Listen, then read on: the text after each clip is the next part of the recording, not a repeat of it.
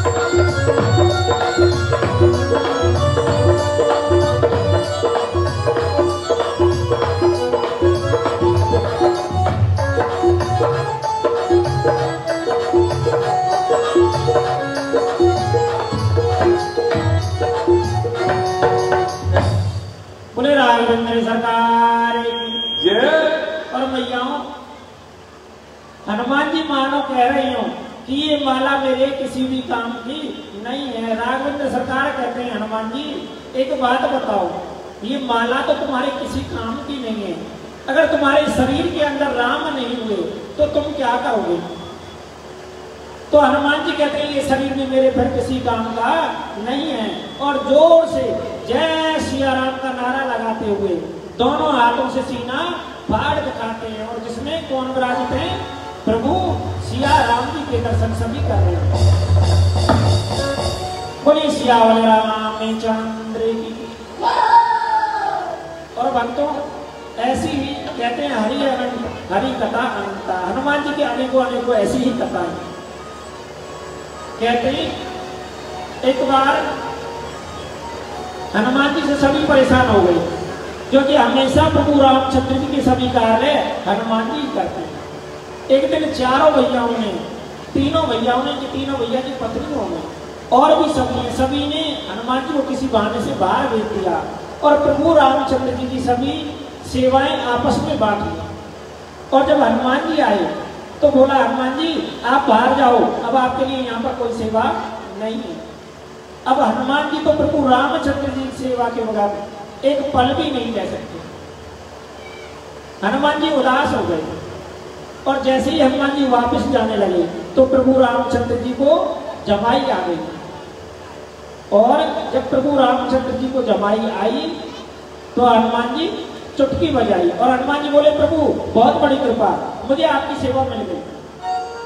मुझे केवल आप यह सेवा देने कि जब भी आपको जमाई आए तो मैं चुटकी बजाऊं। और प्रभु को पता है तेरे घट घट की, प्रभु को पता है तेरे घट घट की, बजाए जा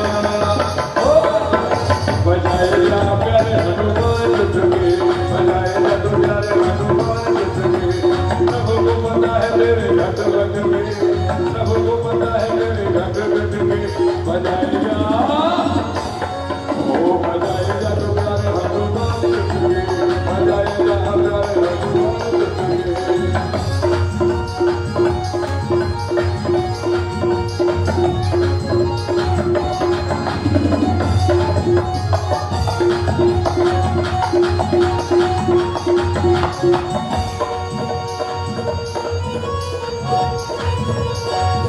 को बेटे भैया देखो इनके सीने में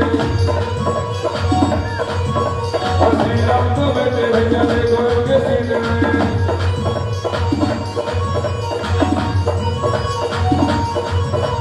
इनकी मूरत देखो बेटो बेटो सीने में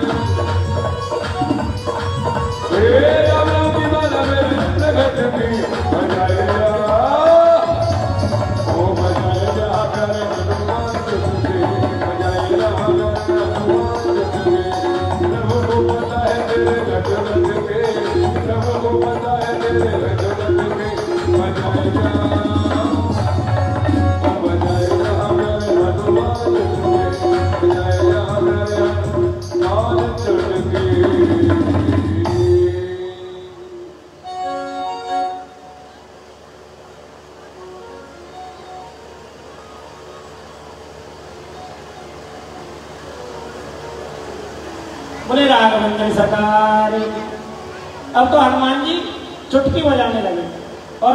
भवन से हनुमान जी भवन से बाहर चले गए। और हनुमान जी ने बाहर बैठे बैठे सोचा, ना जाने प्रभु को कब जमाई आ जाए, और अगर मैंने चुटकी नहीं बजाई तो सेवा अधूरी रह जाएगी। तो हनुमान जी लगातार चुटकी बजाए जा रहे हैं, और प्रभु रामचंद्र जी को जमाई आई, अब बदली नहीं है। बंद जब हो जब हनुमान जी की चुटकी बंद हो। सभी ने बहुत प्रयास करे। वैद को बुलायो, लेकिन चुटकी हनुमान जी की बज रही है इस कारण मुख बंद नहीं होता। अंत में प्रभु रामचंद्र जी ने इशारे करके कहा कि अब तक जिसने मेरे सारे कार्य मनोरथ पूर्ण किए हैं, वही अब भी मेरे काम आवे वो और इशारे से कहा कि मेरे हनुमान जी को बुलाओ। हनुमान जी को बुलाया गया। जब हनुमान जी ने चुटकी बंद करी, जब प्रभु का मुख बंद हुआ और भक्तों, उसी दिन से प्रभु रामचंद्र जी की सभी सेवाएँ हनुमान जी को मिली हुई बोले भगवान, चित भगवान। भक्तों, समय का थोड़ा अभाव है। आइए, हनुमान जी की जन्म कथा की तरफ़ चलते हैं। वैसे तो जिस गति पर हम बैठे हुए ना, बहुत कुछ सुनाने का मन करता है। लेकिन कहते ना, हरि अनंत, हरि कथा अनंत। इतनी सारी ठाकुर जी की कथाएँ क्या सुनाए? सूक्ष्म रूप में सुनाने की कोशिश करते हैं। आइए हनुमान जन्म की तरफ़ चलते हैं। भैया, हनुमान जी के जन्म के बगैर, जन्म की तरफ़ अगर आपको जाना है तो पहले प्रभु रामचंद्र जी के जन्म की तरफ़ जाना होगा। कहते हैं, भैया, जब यज्ञ पुरुष भगवान प्रकट हुए, वह खीर का कटोरा दशरथ जी को दिया, इसलिए रानियों को खिलाने के लिए। तो उस खीर प्रसाद में से, उस प्रसाद को लेकर एक चील उड़ गई। और ये जा पहुँची सुमेरु पर्वत जहाँ पर अंजना मैया तपस्या कर रही है। और आज अचानक से अंजना मैया को जमाई आई, उनका मुख फुट गया। और चील जो आकाश मार्ग से प्रसाद लेकर जा रही थी, वह प्रसाद कांगरा अंजना मैया की यहाँ पर दो वर्णन है। या तो अंजना मैया तपस्या में हथेली करके बैठी हुई हथेली पर आया, या अन्ना मैया को जमाई आई उनके मुखार में प्रसाद गया और एक कथा और भी प्रचलित है। कि एक बार, क्योंकि प्रभु रामचंद्र जी का प्रागट्य होना था। कहते हैं, जब भी प्रभु रामचंद्र जी माता रानी का प्रागट्य होता है तो इनकी शक्तियाँ जो होती हैं, वह ठाकुर जी के प्रागट्य से पहले ही पृथ्वी लोग पर आ जाती है। और कथा तो यह भी है कि एक बार नारद जी तप कर रहे थे। और नारद जी को तप करते हुए मन में अहंकार हो गया। क्यों अहंकार हुआ? क्योंकि जब व्यक्ति तप करता है ना नहीं तब का मतलब ये मत समझो अखंड समझना तब का मतलब जब हम अच्छे रास्ते पर चलते हैं तो बहुत सारे प्रलोभन आते हैं हमारे सामने। हमें उस सही रास्ते से भटकाने के लिए। जैसे घर में माताएँ अच्छे से सासू माता की सेवा करें। सासू माता अगर बहू को डांटे तो चुपचाप बेटी की तरह समझे तो पड़ोसन को बर्दाश्त नहीं होता। पड़ोसन आती है तो बांधी लग रही है? नौकरानी लग रही है? कि तो मैं डांट के तो एक बार जवाब ना दे सके, कैसी बहू है? और घर को बनवाने में एक पनी लगा। तो वैसे ही, जब नारद जी तप कर रहे थे तो इंद्र देवता को बर्दाश्त नहीं हुआ, क्योंकि इंद्र आसन का भागी बन जाता है, व्यक्ति जब भी अच्छे कार्य करता है। तो उसने अप्सराओं को भेजा। अप्सरा नारद जी का तप भंग नहीं कर पाए तो उन्होंने क्षमा मांगी, कि नारद जी, हमें क्षमा करें हमसे बहुत भारी अपराध हो गया। और नारद जी ने उन्हें तो क्षमा कर दिया, लेकिन अप्सरा तो नारद जी का तो भंग नहीं कर सकी, लेकिन नारद जी को अभिमान हो गया अहंकार हो गया, कि पहले भोलेनाथ अकेले थे, जिन्होंने कामदेव पर विजय पाई थी। लेकिन अब तो मैं भी हो गया, कामदेव पर विजय पाने वाला।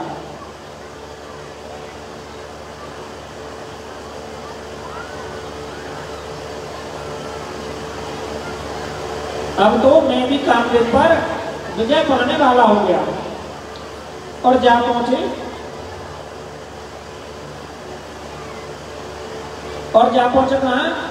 जहाँ भोलेनाथ रहते और भोलेनाथ से कहा, भोलेनाथ, मैंने काम पे विजय पा ली भोलेनाथ बोले कि भगत को अहंकार, शोभा नहीं देता मुझसे तो कहा है, नारायण जी से मत कहना अच्छा कहते हैं विनाश काले विपरीत बुद्धि विनाश के समय जो व्यक्ति की बुद्धि होती है, वह विपरीत हो जाती है। नारद को शिक्षा तो मिल थी अच्छी, लेकिन वह उल्टी लगी। नारद ने सोचा, भोलेनाथ, चाहते नहीं है मेरे नाम की बढ़ाई हो, क्योंकि वो अकेले हैं, अभी काम पर विजय पाने वाला। अब मैं भी हो गया। और ब्रह्मा जी के यहाँ पर पहुँचे। और ब्रह्मा जी से भी यही कह दिया कि मैंने काम पर विजय पा ली ब्रह्मा जी ने भी समझाया कि नारद जी, ऐसा नहीं कहते। लेकिन नारद जी नहीं माने। और यही बात जाकर किससे कही? विष्णु भगवान से जाकर कही अब विष्णु भगवान तो है छलिया विष्णु भगवान बोले, भक्त में अहंकार आ गए हो। भक्त में अहंकार दूर करना ही होगा। जैसे हमारे बालक में कोई गलत आदत लग जाए तो माता पिता पहले प्यार से समझाते हैं। नहीं मानता तो उसे थोड़ा दंड भी दे देते तो विष्णु भगवान ने सोचा कि इसे थोड़ा दंड देना होगा। और भगवान ने क्या किया? नारद जी से कहा हुआ नारद जी, बहुत बढ़िया कार्य करवा और नारद जी जब प्रभु से मिलकर वापसी चले तो आकाश मार्ग से देखते हैं, एक बहुत सुंदर नगरी है, जो विष्णु की, विष्णु गुरु को मार देती है, इंद्र की इंद्र गुरु को मार देती है। और वहाँ के नर नारी इतनी सुंदर है, जो कामदेव को भी मार देते हैं। अच्छा नारद जी का पीछा पता है, जब भोलेनाथ के पास में गए हैं ना तो भोलेनाथ जी के दो गन भी कर रहे हैं उसी समय से। तमाशा देखने के लिए कि विष्णु भगवान अवश्य नारद जी को सबक सिखाएँगे अब नारद जी ने देखा तो नारद जी के मन में आया, एक बार मुझे देखना चाहिए कितनी सुंदर पुरी है और नीचे ऊपर पर आया और उस स्थान पर कुछ उत्सव हो रहा था उनको नारद जी ने वहाँ के नर नारियों से पूछा, ये क्या उत्सव है? तो सभी ने कहा कि हमारी जो राजकुमारी है, उसका स्वयं पर होगा। और यह उसी की तैयारियाँ चल रही हैं। नारद जी ने मन में विचार किया कि इस नगर की नर नारी इतनी सुंदर है। तो आखिर स्वयं जो राजकुमारी थी वो कितनी सुंदर होगी और नारद जी जा पहुँचे महल में। राजकुमारी को हाथ देखो। और हाथ देख के उसने लिखा तो ये हुआ था कि जो भी राजकुमारी को पढ़ेगा वह स्वयं विष्णु होगा।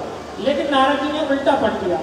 नारद जी ने पढ़ लिया कि जो भी इस राजकुमारी को राजकुमारी की शादी जिसके साथ हो जाएगी, वह त्रिलोकपुरी का राजा हो जाएगा। वो नारद जी उल्टा पढ़ गए। कहते ना बनास काले उल्टी अब सवाल आयो नारद जी को ठहरे कोड़ा क्योंकि उनकी जो दाढ़ी बड़ी हुई है, सकल बनी हुई है उससे शादी कौन करे? और राजकुमारी की शर्त यह है, जो सबसे सुंदर होगा, उसी से वह शादी करेगी अब नारद जी के प्रिय कौन है? विष्णु भगवान। उनको याद किया। और विष्णु भगवान का भगवान मुझे थोड़ी देर के लिए अपना रूप उधार दे दे। संत लोग ऐसा भी कहते हैं कि नारद जी ने कह दिया था कि मुझे अपना हरि रूप उधार दे और हरि बानर का रूप है। भगवान ने कहा कि नारद, मैं वही करूँगा जो मेरे भक्त के लिए अच्छा होगा। और ऐसा कहकर भगवान अंतर ध्यान हो गए। नारद जी ने सोचे, अब तो तू विश्व का सबसे सुंदर पुरुष बन गया। और जिस स्थान पर स्वयं पर चल रहा है, उस स्थान पर पहुँच गए। राजकुमारी माला लेकर चली। तो नारद जी सबसे आगे पहुँच जाते हैं। सभी नारद जी का मज़ाक उड़ाने लगते हैं। और अंत में विष्णु भगवान स्वयं आते हैं। और वह मोहिनी कन्या विष्णु भगवान को बाला पहना देती है। नारद जी बड़े क्रोधित हो जाते हैं। नारद जी कहते हैं, जब यह भदई माला पहननी तो मुझे पहले ही बता दो मेरे साथ धोखा क्यों करो? और उनके पीछे चलती है। और रास्ते में ही जाकर उस मोहिनी और विष्णु भगवान को पकड़ लिया और उनसे कहा, तुम वो ऐसो अट्टो पट्टो बाबा जी मत जानी हो तुम वो ऐसो बाबा जी मत जाने। जा, मैं तो श्राप दे रहा हूँ। जैसे आज मैं स्त्री योग में परेशान हूँ ना, वैसे ही तू भी परेशान हो और जो भोले जी के दो गण नारद जी को परेशान कर रहे थे उन्होंने पता नारद जी से क्या कहा कि जाकर पहले जल में अपनी शकल तो दे नारद जी ने जब शकल देखी, देखा कि वह तो बानर बने हुए हैं।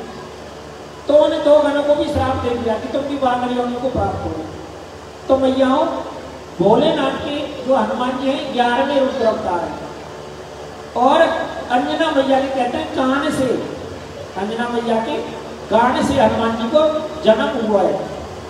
यानी अन्य नंदन भी कहते हैं, और केसरी नंदन भी कहते हैं कि केसरी इनके पिता हैं।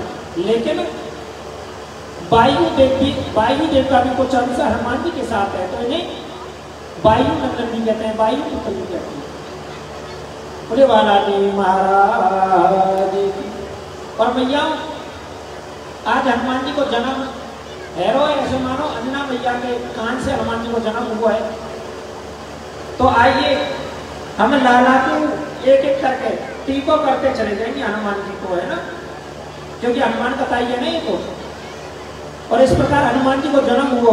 और भैया एक बार पुणे कहता हूँ जो भी श्रद्धा व्यवहार से हनुमान जी की कथा सुनता है, उसके बालाजी महाराज हमेशा भंडार भरते हैं और सभी मनोकामनाएँ अवश्य पूर्ण करते हैं। ऐसे हैं मेरे हनुमान जी।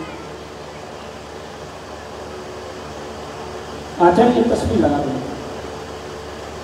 और भैया, आइए, देवता सभी आकाश मार्ग में आकर खड़े हो गए। इसलिए हनुमान जी के आगे हो। गए।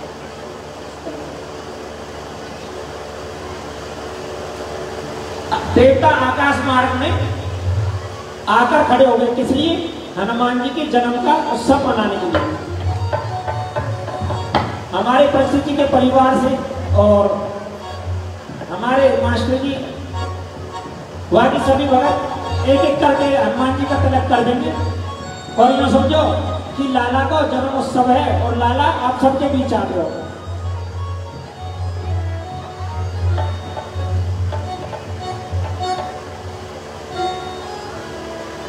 बाजरे ढोल और नगाड़े अन्य के घर ललना परारे।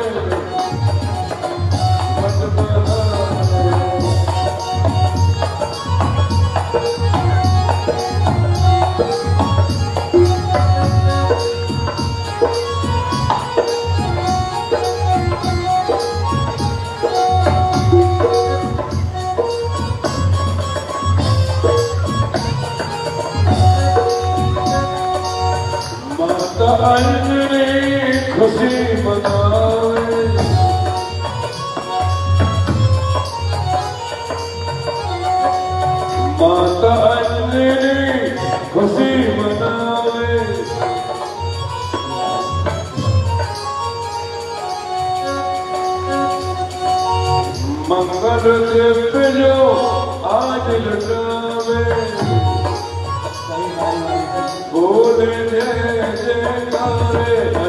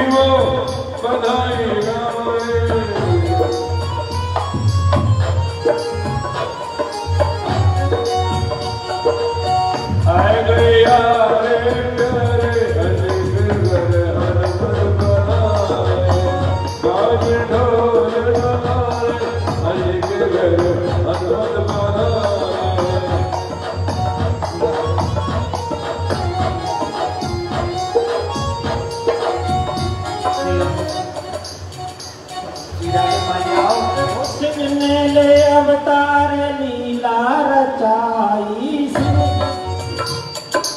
भैया हनुमान जी के देखो बाल रूप के तो कोई भी मतलब ये कि उनको कर सके। वहाँ पे शंका ना करो कोई भी।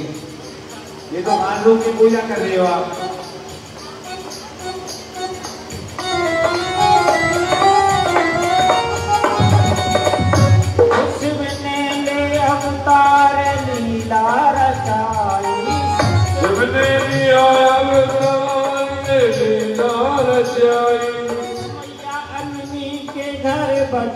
बाए नगली घर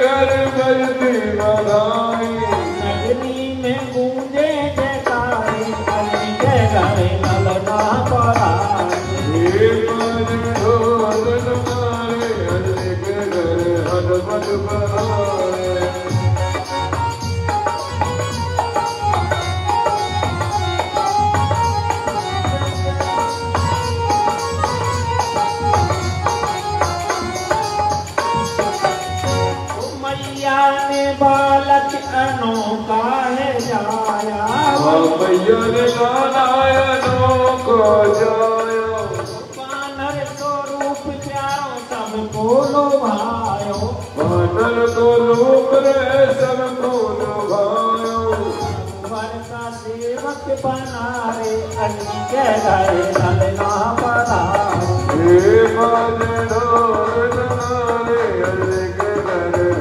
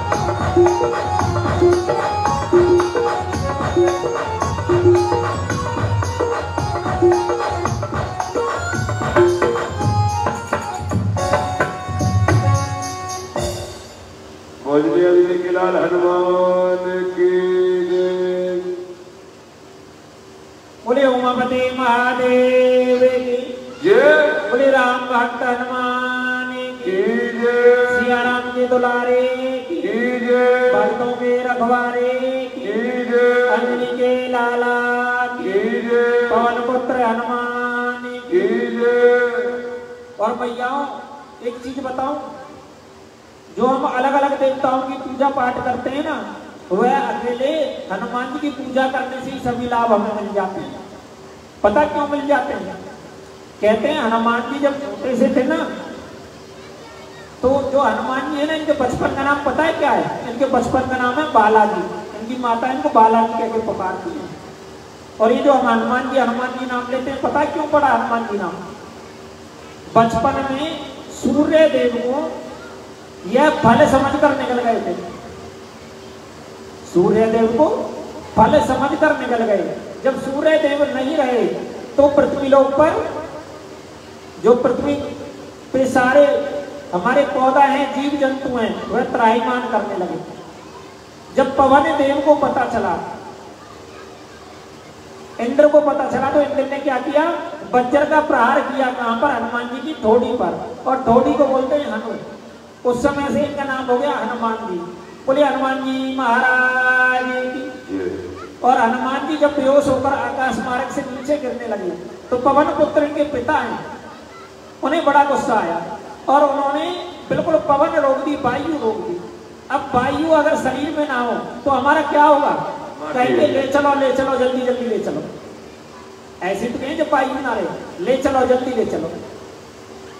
तो मैयाओ चारों तरफ़ त्राईमान मच गई और वायु देव ने वायु रोक दी। और अपने पुत्र को लेकर पृथ्वी लोक पर आ गए। सभी देवता इकट्ठे हुए और उन्होंने पवन देव को मनाया। उन्होंने कहा, मेरा लाला तो छोटो सा हो, इतना बड़ा ये अपराध थोड़ी करो। जो इतना कठोर वज्र को प्रहार इंद्र ने मेरे लाला की थोड़ी पे करो। और सभी देवताओं ने यहाँ पर हनुमान जी को अपने अपने बर दे दिए। सभी देवताओं के बर मिले हुए। अग्नि हनुमान जी को जला नहीं सकती और जल हनुमान जी को गला नहीं सकता। ध्यान रखना भैया। और कोई भी दुनिया का अस्त्र शस्त्र नहीं कि जो हनुमान जी को काट सके। जैसे आत्मा के लिए बोलते ना, वैसे ही हनुमान जी है बिल्कुल।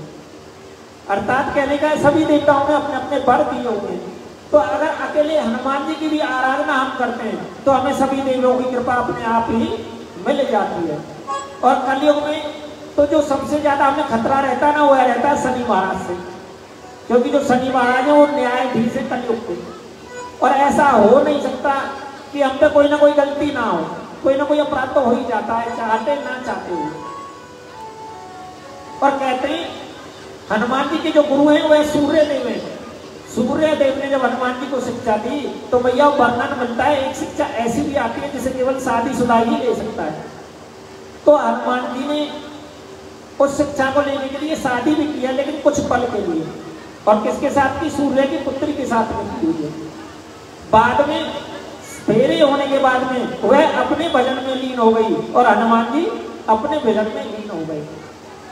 और कहते हैं कि हनुमान जी की जब शिक्षा संपन्न हुई तो हनुमान जी कहा, गुरुदेव, दक्षिणा तो सूर्य देव ने कहा, आप जैसे योग्य योग्य शिष्य मुझे मिला, इससे बढ़ के दक्षिणा क्या होगी? हनुमान जी ने कहा, नहीं, फिर भी कोई तो दक्षिणा होती है। तो सूर्य देव के पुत्र कौन है? शनि देव। इनके पास शक्ति बहुत थी, इसलिए उठा कुछ ना कुछ है करते रहते थे। सूर्य देव ने घर से निकाल दिया। तो हनुमान जी बोले, मैं आपके पुत्र को ला कर दूँगा। तो हनुमान जी सूर्यदेव को लेने के लिए गए।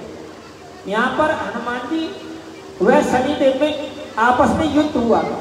और हनुमान जी ने गधा के प्राण से शनिदेव का एक टांग, एक पैर तोड़ दिया, जिसमें थोड़ी लच आ गई।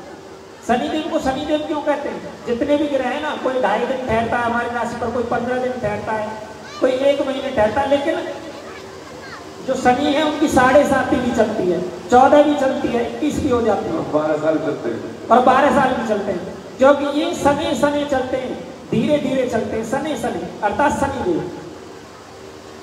और शनि देव ने अंत में जब हनुमान जी से क्षमा मांगी कि हनुमान जी, मैं अपने बल के अहंकार में चूरता मैं आपको पहचान नहीं पाया, मुझे क्षमा कर तो हनुमान जी ने प्रसन्न होकर शनिदेव को क्षमा कर दिया।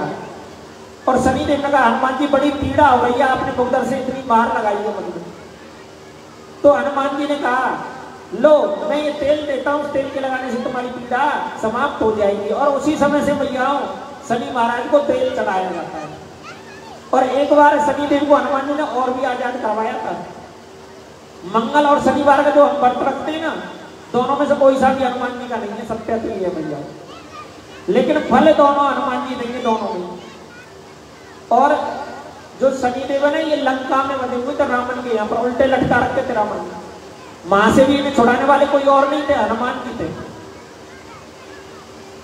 तो हनुमान जी ने तो दो दो बार शनि महाराज का बेड़ा पार किया हुआ है। इसलिए शनि महाराज ने कहा हुआ है कि भगवान, जो तुम्हारे भगतों में मैं कभी कोई कष्ट नहीं दूँगा बोले हनुमान जी वाला जी महाराज।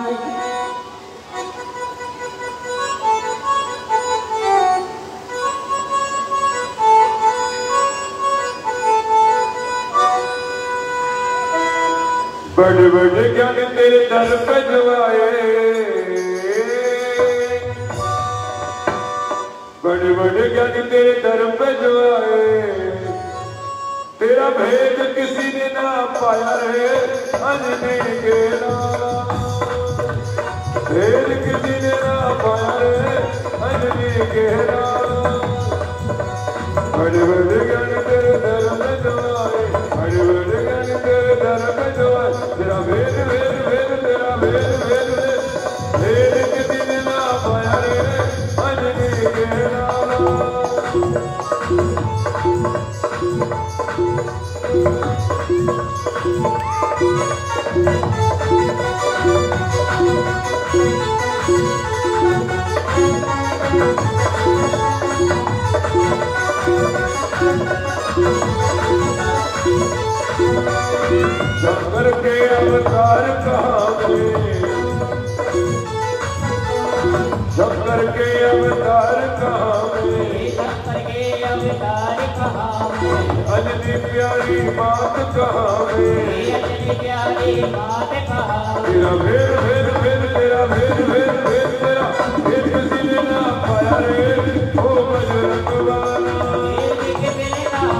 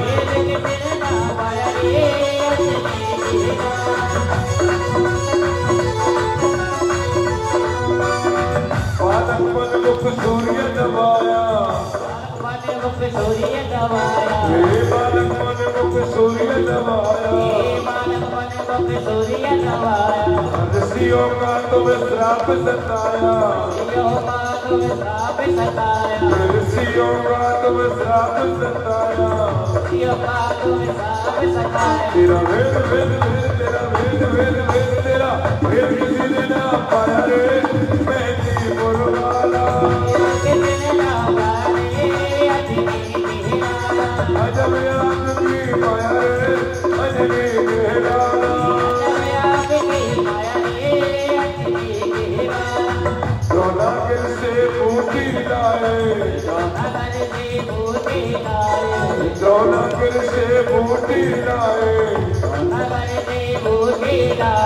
लक्ष्मण जी के प्राण बचाए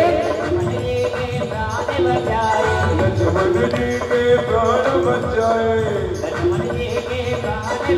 तेरा भेद भेद भेद तेरा भेद भेद भेद तेरा भेद किसी ने ना पाया रे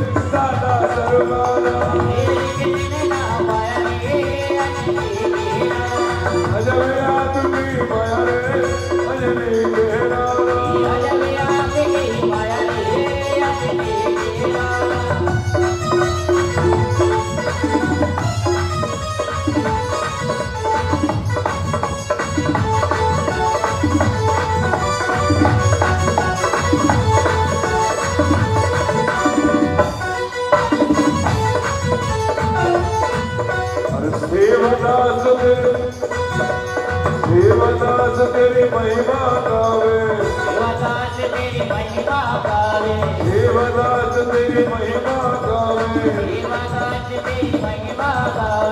रमेश चंद्र तेरी स्तुति गावे। रमेश चंद्र तेरी स्तुति गावे। वो तो काम भिड़ूँगी वाला है।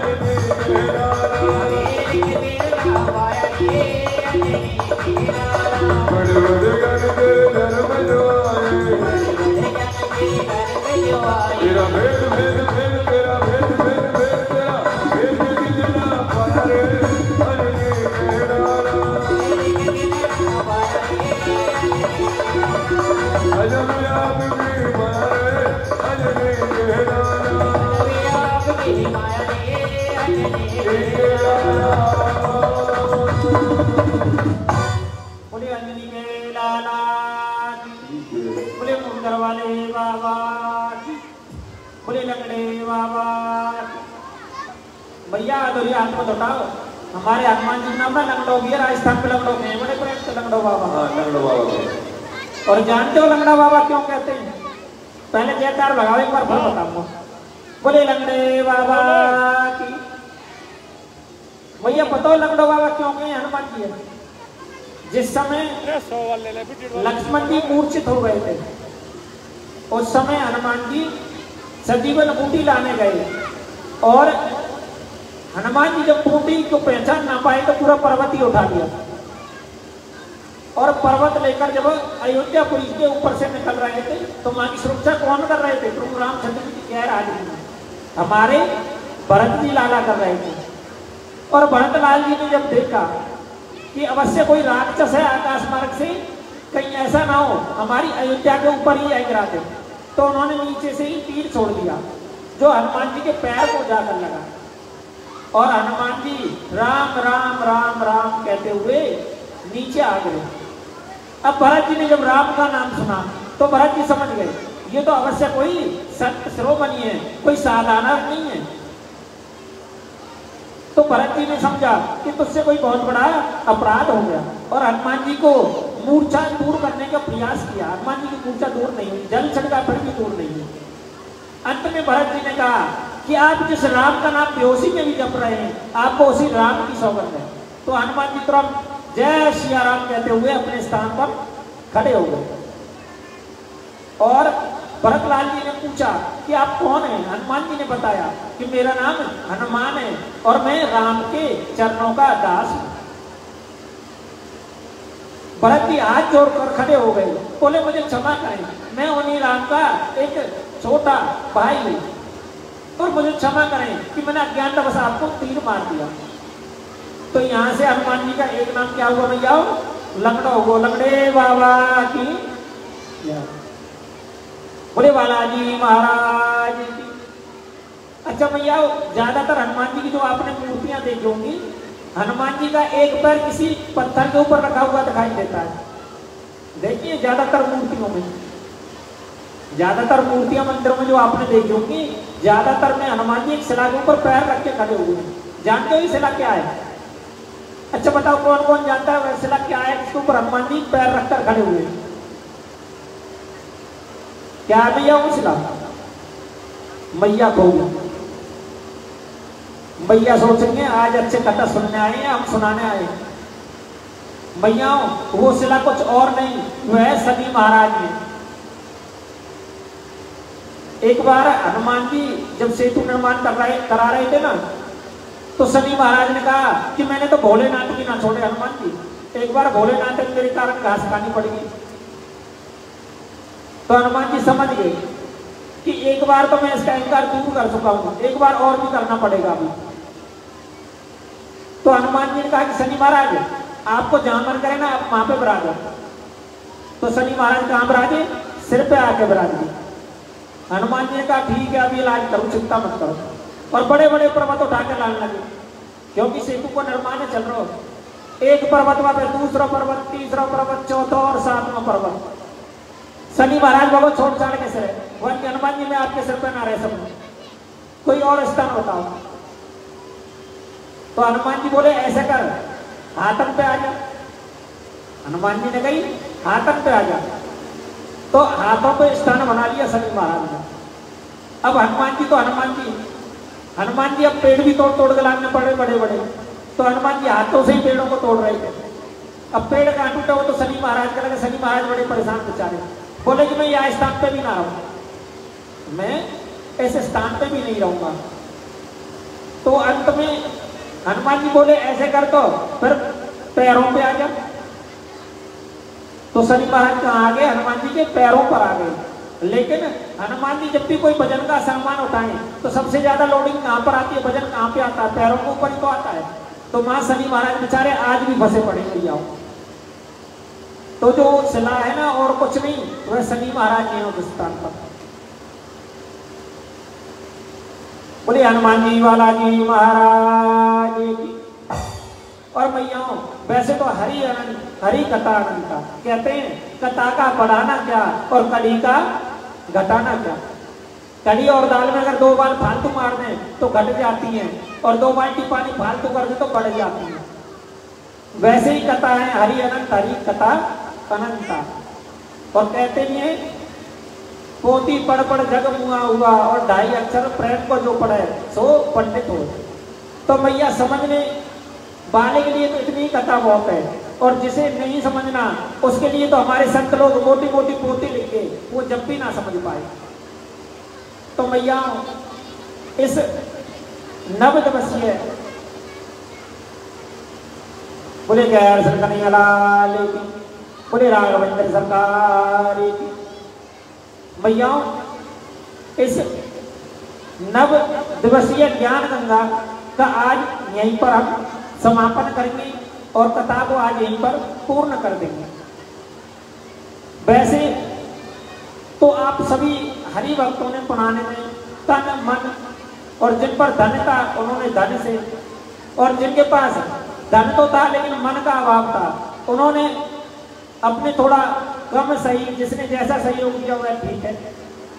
और मेरी तो भागवत महारानी से यही विनती है कि भागवत महारानी सभी के भंडार भरे जिसने तन से सहयोग किया, उसके भी भंडार भरे जिसने मन से किया, उसके भी भरे और जिसने धन से किया, उसके भी भरे और भैया एक बात बताऊँ इन नौ दिनों में, क्योंकि कथा का स्थान हमारा हैप्पी मॉडर्न हाई स्कूल था तो हमारे जो मास्टर जी हैं, इनका भी विशेष सहयोग हमारे लिए रहा हमेशा। और इन नौ दिनों में एक बार भी हमें ऐसा नहीं लगा कि हम अपने घर में नहीं हैं। हमेशा ऐसा लगा कि अपने घर में ही रह रहे हैं, क्योंकि इनका, इन्होंने तन, मन, धन तीनों से ही अपना सहयोग दिया। और हमारी जो परिस्थिति है ना, उनका भी विशेष सहयोग इस कथा में रहा। वाले राम और मैयाओं, कहते हैं, विदाई की जो बेला होती है ना, पता ना कल आप होंगे, ना होंगे, हम कल मिले, ना मिले। हमारी तो भी यही आखिरी आराम समझिए इस समय की।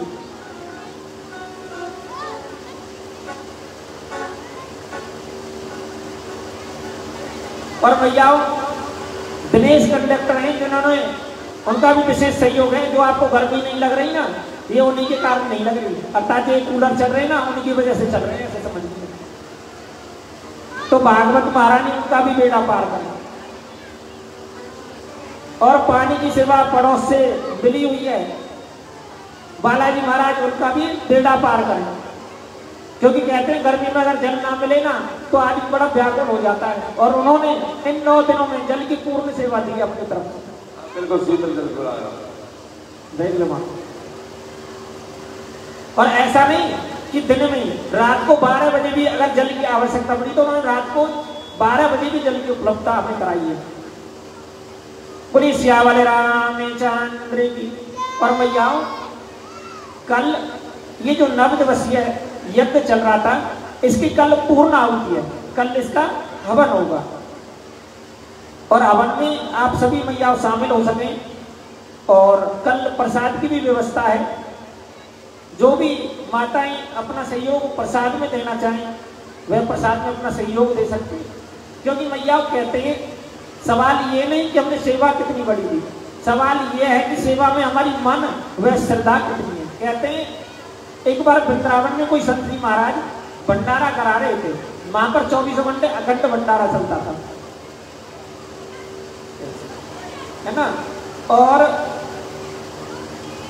बोले कन्हैया लाल की और मैया उस भंडारे में एक बुढ़िया माँ अपनी सेवा लेकर पहुँची। और सेवा में क्या था? केवल नमक था। भक्तों ने वहाँ तक नहीं पहुँचने दिया कि तुम्हारे नमक से हज़ारों का भंडारा नहीं हो जाएगा।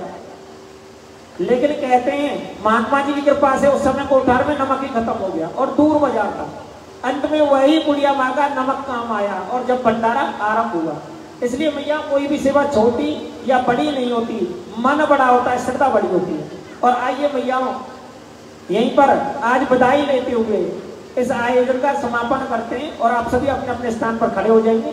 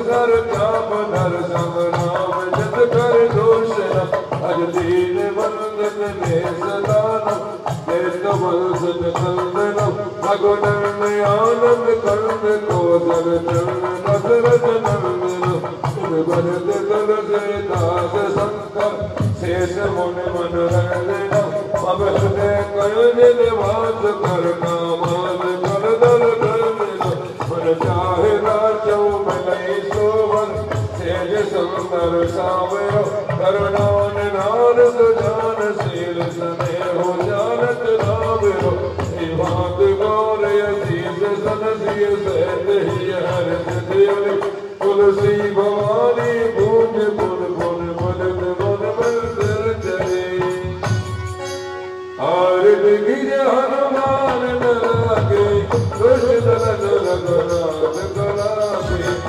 जाके वन से गिरवर कापे लोग दोष जग निकल न जावे।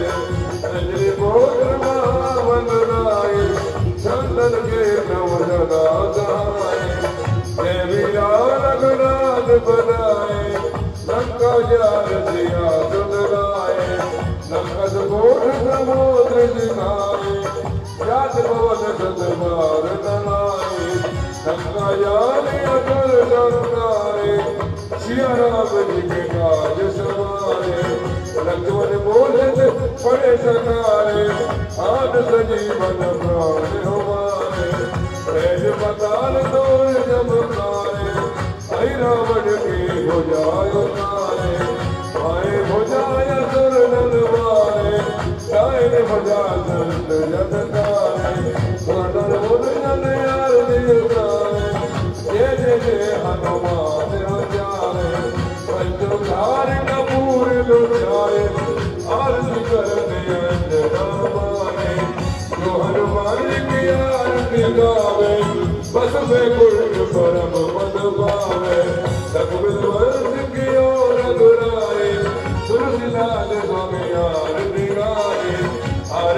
ਨਾਮ ਨਾਮ ਲਾ ਕੇ ਸੁਣ ਨਾਮ ਰਗਨਾ ਜਗਦਾਤੀ ਸਰਪੂਰ ਮੋਰਮ ਕਰਨ ਲਗਤੋ ਮੁੱਛਦਾ ਨਾਮ ਮੋਜੇ ਕਰਾਂ ਜਗਾਵਨ ਨਾਮ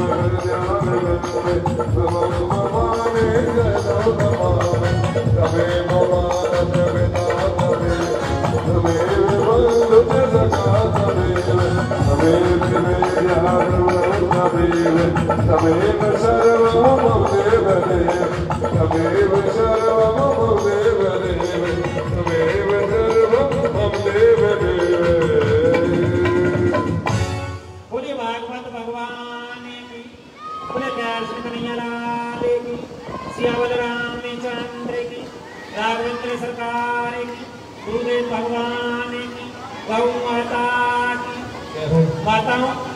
भक्तों हमारी जो राम भक्त हनुमान सेवा समिति है ए बच्चे चुप हो जाओ। आज उस राम भक्त हनुमान सेवा समिति में हम अपने दो अपने दो सदस्य और जोड़ने जा रहे हैं जो ऐसे समझो कि आपके पुनाना क्षेत्र के हमारे आने वाले अध्यक्ष के पद पर होंगे। अध्यक्ष और उपाध्यक्ष। हमारे मास्टर जी क्या? नरेंद्र नरेंद्र। हमारे मास्टर जी टीटू जी आने वाले समय में जो भी कार्यक्रम हमारे इधर मेवात की तरफ़ होंगे उन सभी की अध्यक्षता करके यही अध्यक्ष होंगे।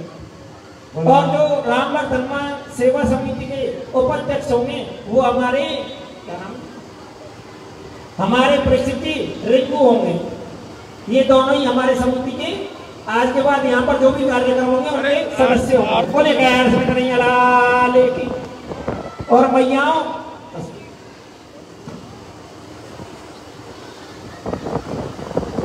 और मैयाओं अगला आयोजन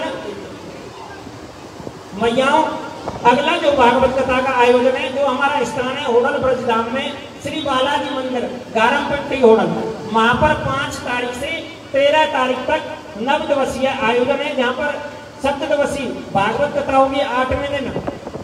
बालाजी महाराज की कथा होगी और उसके बाद में अपनी जो बिल्कुल यही जो आयोजन है, इसी की कथा होगी पाँच तारीख से तेरह तारीख तक। आप सभी हरी वक्त हमारे स्थान श्री बालाजी मंदिर पर पाँच जुलाई 2022 में और पाँच जुलाई तेरह जुलाई 2022 तक सभी आमंत्रित है, सभी प्रेम से आमंत्रित।